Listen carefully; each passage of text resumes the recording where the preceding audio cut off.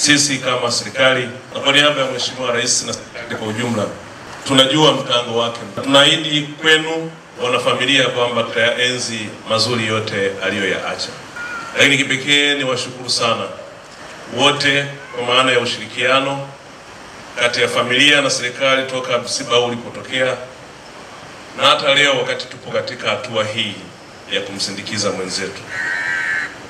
Binafsi nitashiriki hapa, lakini pia nimeamua kwenda hadi Same Mamba katika hatua ya mwisho ya kumsindikiza mpendwa wetu.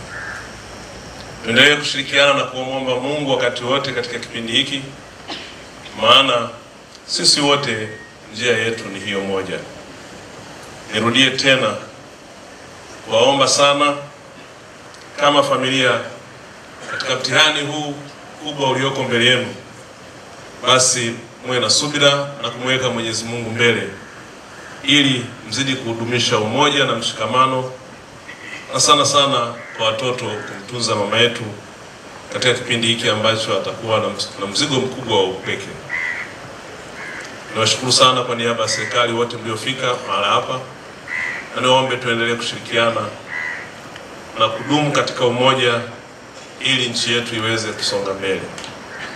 Asante sana ndugu MC, asante sana familia, na poleni tena, poleni sana, poleni sana.